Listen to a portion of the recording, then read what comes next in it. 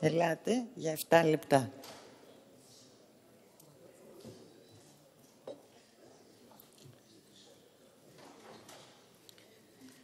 Ευχαριστώ κυρία Πρόεδρε. Κυρίες και κύριοι συνάδελφοι, φαίνεται ότι σε αυτή τη χώρα του ήλιου όλα τα σημαντικά γεγονότα συμβαίνουν το καλοκαίρι. Επίσης φαίνεται από τα γεγονότα ότι η σημερινή κυβέρνηση των ΣΥΡΙΖΑ ΑΝΕΛ έχει υπομειστεί το καθήκον να λύσει τα χρόνια προβλήματα που δημιούργησαν οι προηγούμενες κυβερνήσεις Νέας, Δημοκρασία, Νέας Δημοκρατίας και ΠΑΣΟΚ. Ήταν καλοκαίρι του 2015 όταν μετά από σκληρή διαπραγμάτευση με τους εταίρους μας και μετά από έναν έντιμο αλλά δύσκολο συμβιβασμό, αναλάβαμε την ευθύνη να οδηγήσουμε τη χώρα έξω από τα μνημόνια με τον κατατελεπορημένο ελληνικό λαό όρθιο. Να τον οδηγήσουμε έξω από τα μνημόνια στα οποία μας οδήγησαν οι πολιτικές των κυβερνήσεων Νέας Δημοκρατίας και Πασόκ. Αλλά πολύ περισσότερο, κυρίες και κύριοι συνάδελφοι, μας οδήγησε το καθεστώς διαφθοράς και διαπλοκής που δημιούργησαν και εξέθρεψαν οι παραπάνω κυβερνήσεις. Τότε, το καλοκαίρι του 2015, το εγχείρημα αυτό φαινόταν σχεδόν ακατόρθωτο. Φάνταζε Ηράκλειος άθλος. Οι συσχετισμοί στην Ευρωπαϊκή Ένωση και η άποψη των ευρωπαϊκών θεσμών κάθε άλλο παραθετικά ήταν για την καινούργια αριστερή κυβέρνηση. Είχαμε να παλέψουμε με το τέρας του νεοφιλελευθερισμού, που ήταν πανίσχυρο στην Ευρώπη, που έδειχνε τα δόντια του μέσω του κυρίου Σόιμπλε, που ήθελε να διώξει την Ελλάδα από την Ευρωζώνη για να τιμωρήσει τους Έλληνες που ψήφισαν αριστερά και να παραδειγματίσει και τους υπόλοιπους λαούς του Νότου που φαινόταν να στρέφονται προς τα αριστερά. Δεν τα κατάφεραν όμως οι ακραίες νοφιλελεύθερες φωνές στην Ευρώπη, όπως δεν τα κατάφεραν και οι εγχώροι ακόλουθοί τους. Η ελληνική κυβέρνηση τους τελευταίους 34 μήνες με σκληρή δουλειά, υπερπηδώντας τα εμπόδια και αποφεύγοντας τις τρικλοποδιές που τις έβαζαν οι αντίπαλοι της στο εσωτερικό και στο εξωτερικό, κατάφερε να πετύχει εκεί που όλες οι μνημονιακές κυβερνήσεις είχαν αποτύχει. Η οικονομική αλλά και η κοινωνική πολιτική της κυβέρνησης κατάφερε να διεισδύσει στις ελάχιστες και στενές χαραμάδες που άφηνε το ασφικτικό μνημόνιο και να δημιουργήσει μια σπίδα προστασίας για τους πολίτες αυτούς που οι μνημονιακές πολιτικές τους οδήγησαν στην απόλυτη φτώχεια.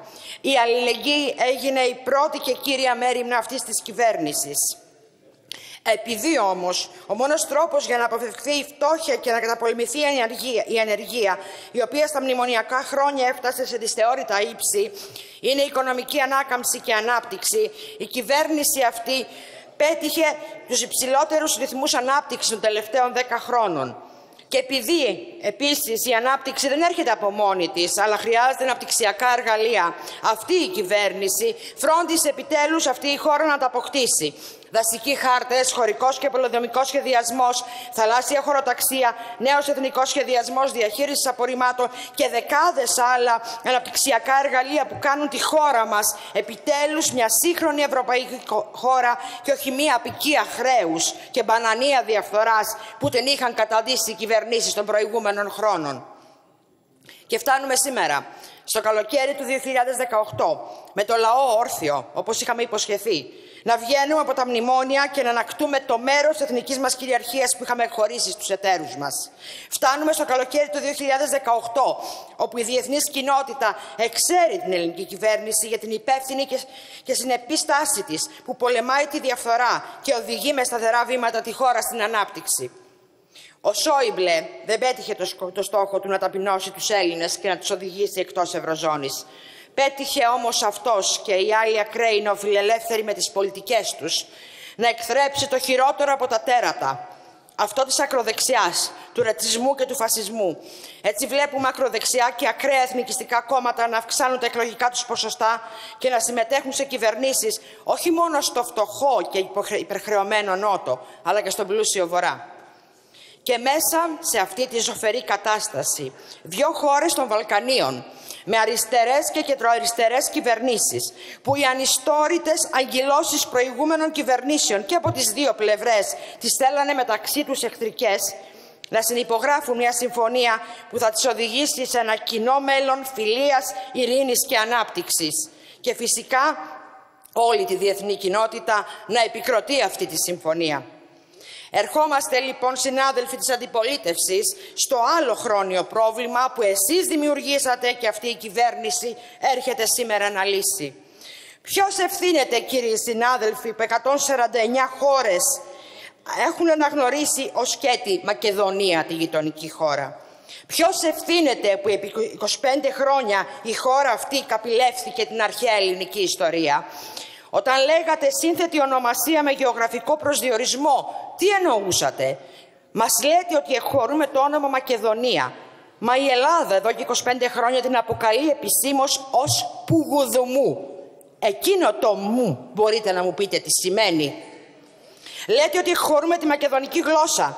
Ανατρέξτε λίγο στην Πινελόπη Δέλτα, στον Ευάγγελο Αβέροφ, στις αποφάσεις του ΟΗΕ.